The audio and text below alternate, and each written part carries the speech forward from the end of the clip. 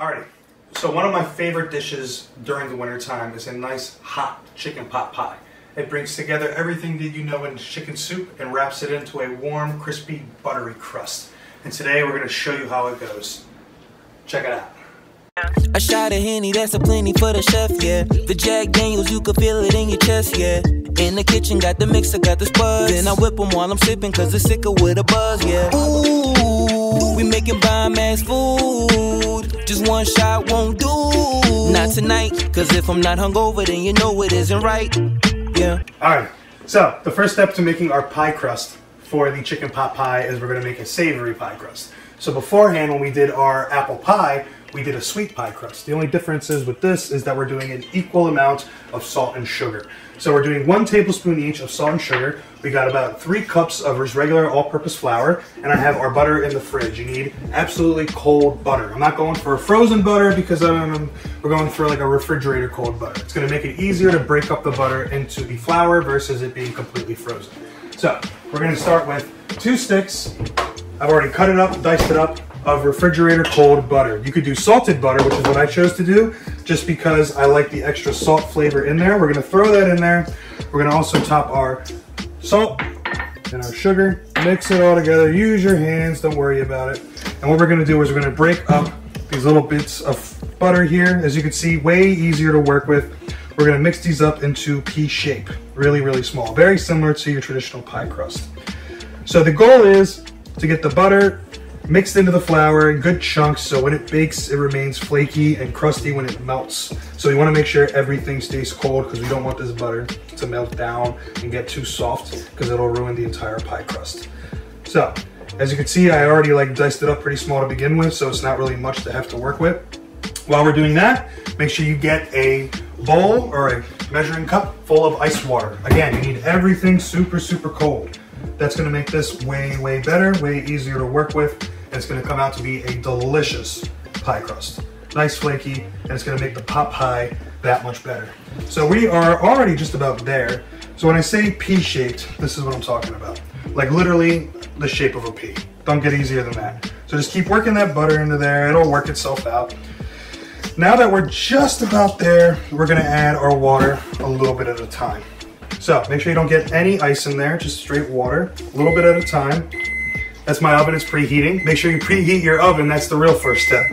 So get that going, a little bit at a time. We're almost there. A little more water. Ice cube fell in, not a big deal. Fish that out, throw it in there. So you want the consistency, as we talked about before, to be like wet sand, like magic sand if you remember when you were a kid growing up. You can be able to pick it up, crush it, it retains its shape. We still need a little more time there. So almost, we're almost there. Mix it all together. I'm thinking five to six tablespoons of ice cold water. And you should be just about there.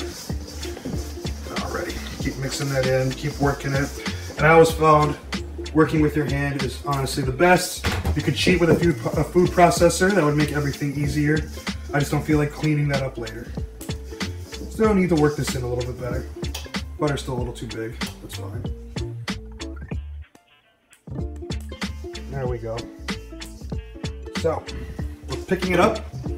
As you can see, it's still a little too crumbly, so just add a little bit more water. There we go. Yeah, we're just about there now. If I can pick it up, yep, a little bit on the floor, that's okay. Like to appease our floor gods. See, now we can pick it up and mold it. So now that we're at that stage, get this off my fingers, the excess, don't waste any of it. We're gonna put this aside for just a second, clear some room. We're gonna get some cling wrap or plastic wrap, whatever you wanna call it. Make sure you get yourself a nice, easy workspace, spread it all out. There we go. There we go. The bigger the surface area, the better. We're gonna spread this out. We're gonna take our pie crust, or flour really, it's not pie crust yet. Put that right in the center there. And we're gonna work it. Like we, just like we did with the apple pie. Bring the edges in, work it in, edge it in there. This is gonna have to sit cooling in the fridge. We're just gonna work it into a more easy workspace. Wrap it all up, flip it over, squish it down into a nice disc. There it is. Let this chill in your fridge for a minimum of 45 minutes to a half an hour. Or half an hour to 45 minutes, reverse that. And it goes. Next, we're gonna work on preparing our vegetables, our root vegetables for the next part. We'll be right back in a moment. Wash my hands. Now, when it comes to your mise en place, everything being in place in French, uh, when it comes to your vegetables, you really have a, quite a different variety to choose from when it comes to your chicken pot pie. Your mirepoix traditionally uh, is made of uh, celery, carrots, and onions. I'm gonna add some parsnip to the party because I like the peppery taste of a parsnip. It's kind of like a really strong tasting, like almost like a white carrot. It's a really nice root vegetable that I do enjoy. So what we're gonna do is we're gonna peel this like we would any other vegetable, right? So make sure it's all peeled. Just as easy as peeling a carrot. It's pretty much just a big old white carrot. Just a little more stronger tasting, more aromatic. Kind of like almost like a uh, like a licoricey taste if you want.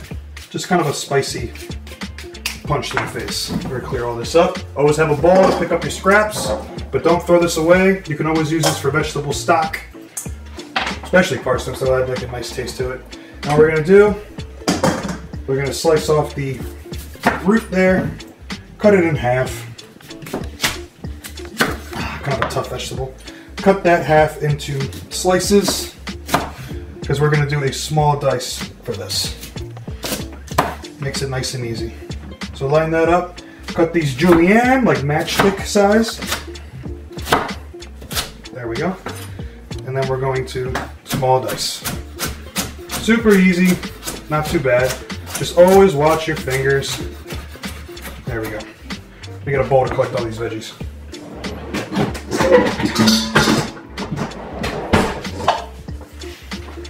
Parsnips go here.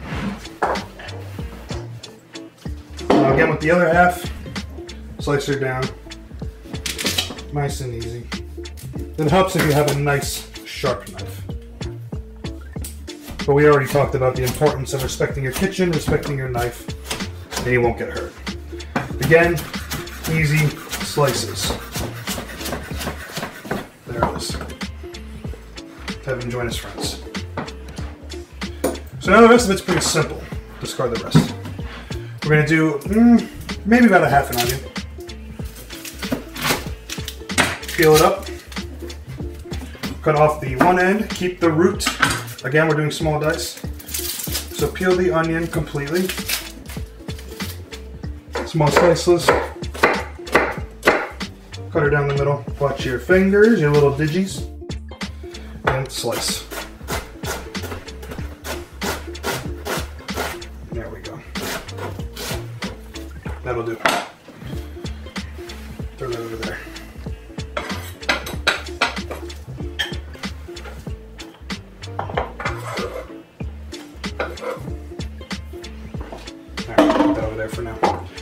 Take two celery stalks.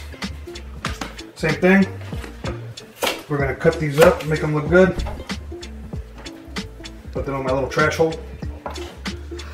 Then we're to cut these up in strands. Right down the middles.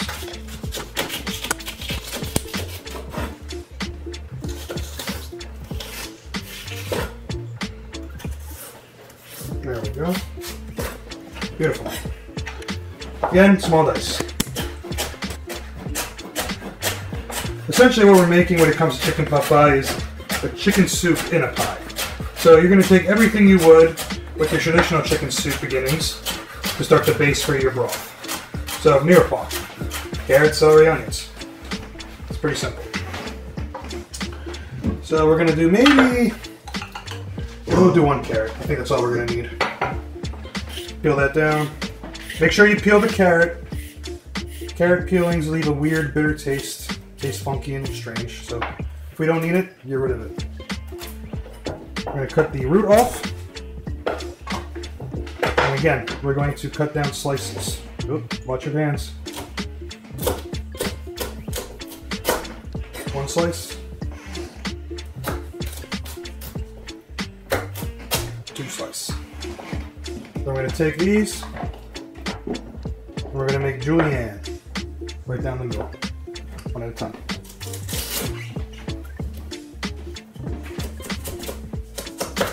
There we go. Now I got carrot sticks.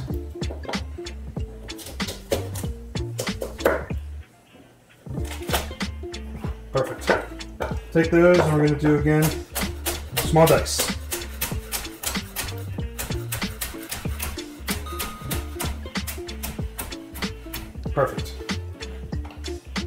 One last bit. Small dice.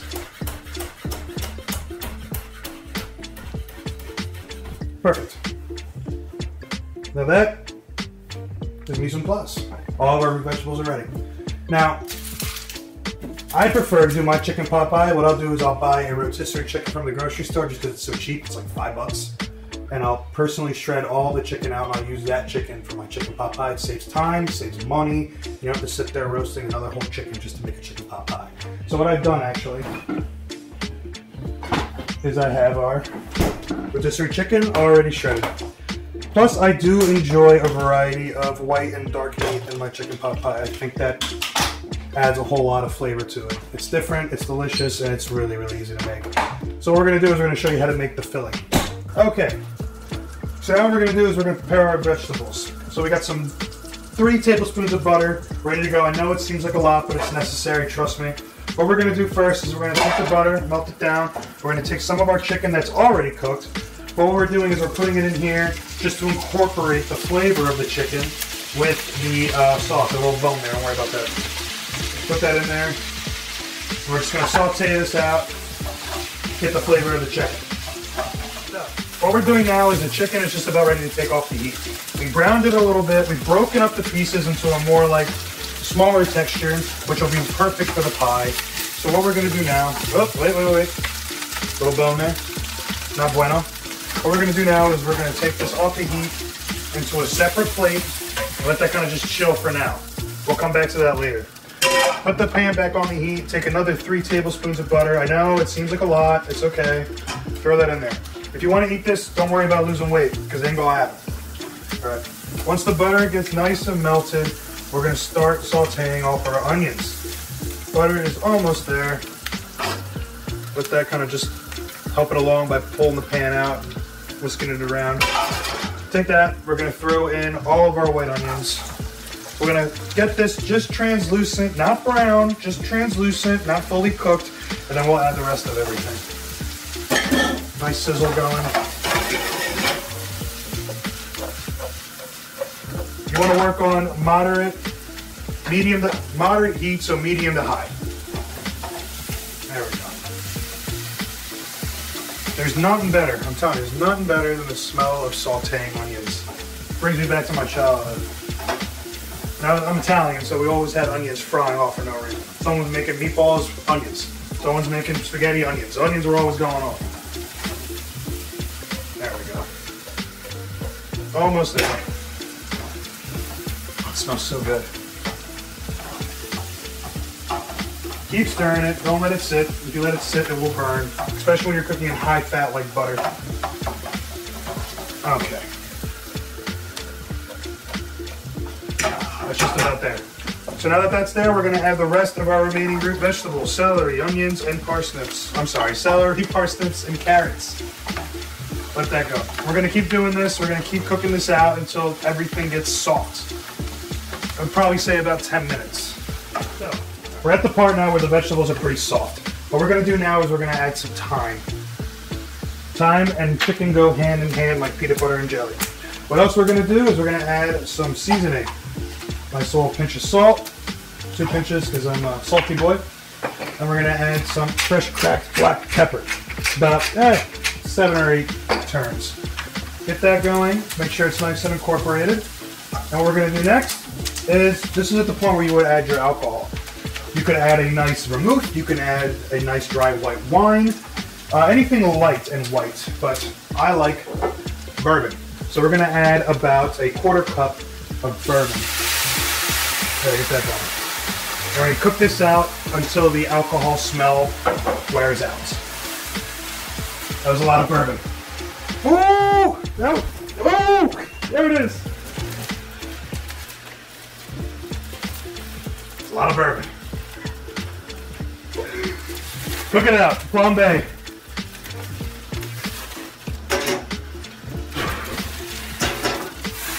It's okay. Shake it out until it leaves.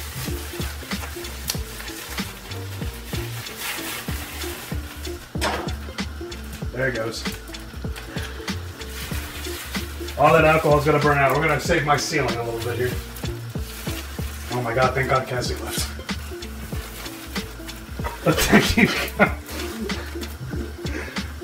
This, my friends, is why you don't drink and cook. There we go. my god, it is still very hot. Come on.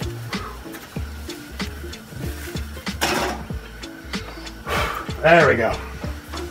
The alcohol is cooked out. I feel like I'm going through menopause.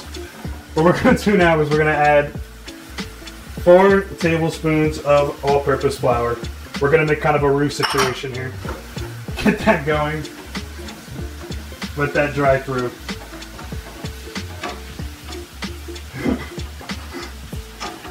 Once the raw flour smell is gone, which is not yet, but it will be,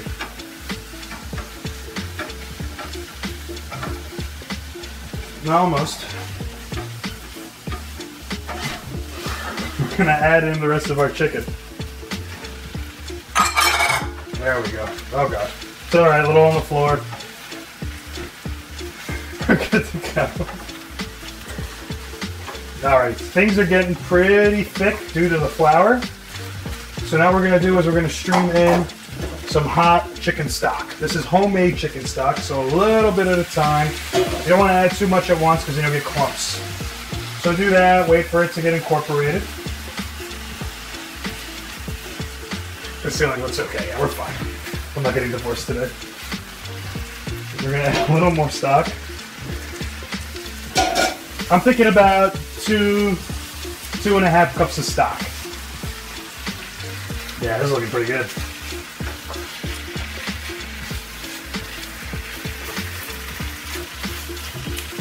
And the rest. There you go. Turn that off. We don't need any more fire today. Now to keep mixing, keep turning, going to thicken up pretty nicely. Keep it rocking.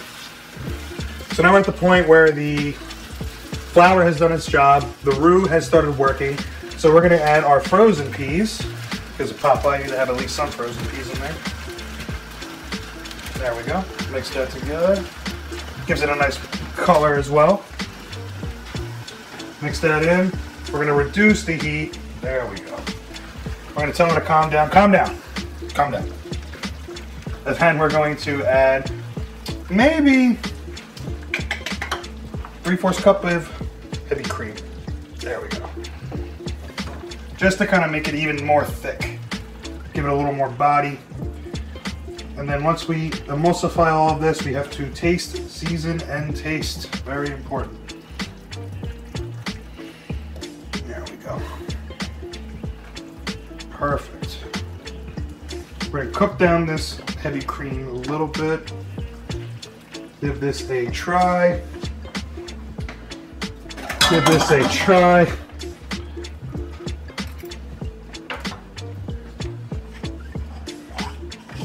A little more salt. A little more pepper. Okay. Now that this is cooked, we're gonna put this aside off heat. Let it cool down to room temp so we can roll out our pastry and bake that in. We'll come back when this cools down. So we went ahead and we moved our uh, pie crust filling to, or a pot pie filling to a uh, plate just so it cools down faster. In the meantime, we're gonna roll out the pie crust we made earlier. We're gonna need extra flour just to, so it doesn't stick. Sprinkle a little bit on top. We're just gonna kind of like push it in. Again, very similar to a uh, apple pie crust. If you see cracks, just beat it into submission. It'll eventually form the way you want. So down the middle, forward, pick up and turn. You wanna keep this moving constantly. There we go.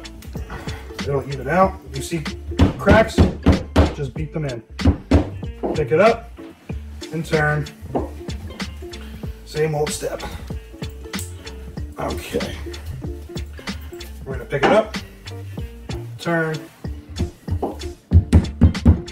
meet any cracks you see, roll it out. We want this to be relatively thin, but not too thin. There we go. We're gonna do one more pick up and turn. Now it's getting pretty big. There we go. And you can see all of the butter smashed into that pie crust that we did with the apple pie. I would say you probably want maybe quarter to an inch. You could probably go thinner if you wanted. The thinner you go, the quicker it will cook in the oven, but then again, you don't want too thin. So that is well more than enough for that. So we're gonna do what we did last time. We're gonna take our rolling pin, use it to pick it up nice and easy. Love that. There's nothing more satisfying to that than that. Then we're gonna roll it back out over our pie tin. Little uneven, but that's okay, because we're gonna pick it up and move it back. Perfect. Remember, don't squish it in. Pick it up and move it. Pick it up and ease it into the crevices because this thing is going to shrink. You want to make sure that you have even coverage. So now that that's good, I need some kind of knife here. Oh, pound knife, that'll work. We're gonna cut the edge out. And the rest of this pie crust, don't throw it away. We're gonna use it as a cover. There we go. Perfect. Coming out really nice. This is a pretty good pie crust recipe. I like it. We go all the way around. There we go. Perfect. Awesome. Come on. This we're gonna re-roll, put it back in the fridge. This is gonna be our pie topping.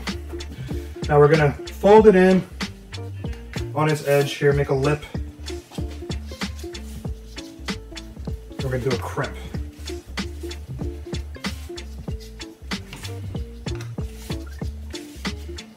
There we go. We're gonna put, pinch, and squeeze. Make nice crimping. Make it look decorative. Make it look nice.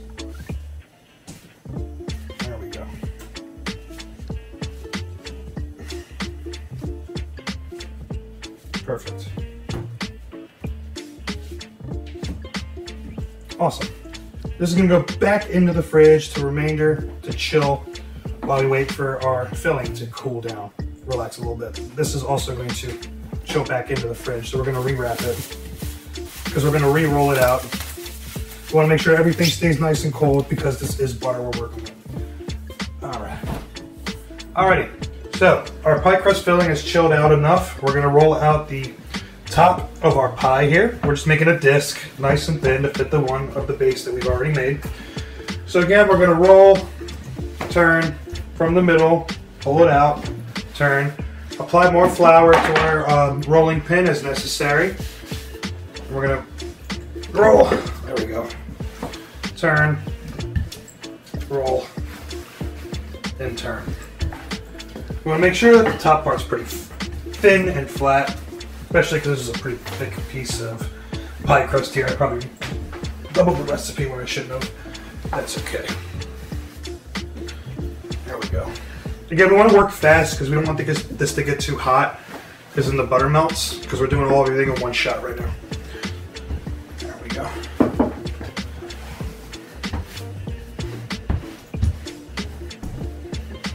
There we go. A little more pie crust as you can see. It'll dry up pretty quick. Come on, baby. Nope. Thank you. You see any cracks, just beat the bag. There we go. All right, that should be pretty good. Oh no, hold on. Beat them in. There we go. That'll be fine. Like a gymnast. We get our already crust here. We're going to get. We get this. We're going to fill our pie up with it. Don't be afraid. Fill it all the way as much as you can. There we go. It's still a little warm, but it should be okay because we're going to put it right into the oven. There we go. Beautiful. Love to see that. We're gonna take this. Perfect. We're gonna wrap it right on top.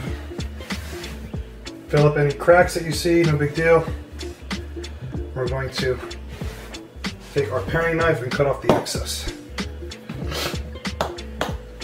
There we go.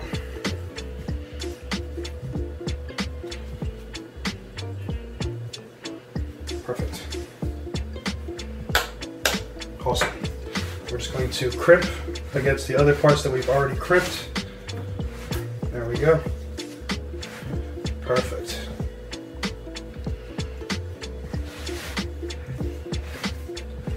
Alrighty. Make it look pretty. Grab the edges, pinch them down with your thumb. Everything stays cohesive and together. Perfect. Awesome. Now what we're gonna do is normally we would cut a vent, which we kind of already have here. It's a little ugly, but that's okay. But we'll cut one just in case. You need a steam vent, or the whole thing will kind of explode in a weird way that you wouldn't really understand, but it will happen because it's happened to me a lot. We got our brush. We got an egg wash, one egg yolk with some water. We're just gonna brush this down. This will give it some color, some browning, give it a nice Maillard reaction.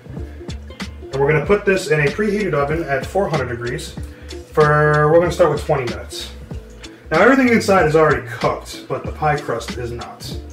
And we cut our pie crust pretty thin, but we're gonna start with 20 minutes. After 20 minutes, we'll see how it turns out. We're going to throw that on there and into our oven on the top rack. 20 minutes. Beautiful. We'll come back see what it looks like. Hopefully it's not burned. Alrighty, so it's been about 20 minutes since our pot pie has been baking. We're gonna go ahead and check on it. Alright. There we go. As you can see, it's been golden colored. It's ready to go. We're gonna sit here and let it rest for at least 20 minutes. Let all the fluids and fats kind of settle, and then we'll cut into it. We'll be back in 20 minutes. Now it's been about 20 minutes, we're gonna go ahead and cut into this. We're gonna do a healthy cut right down the middle. There we go.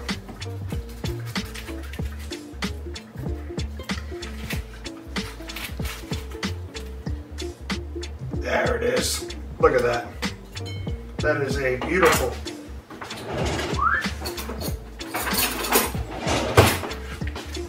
Make sure we get all of the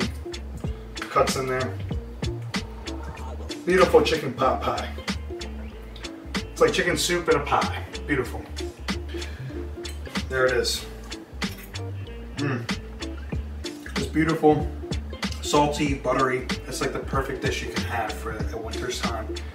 I want to thank you all for coming by, checking out this dish. Try it out yourself. Leave a comment, subscribe, try it out. It's fantastic. Thanks for stopping by and have a beer on me. See you next time.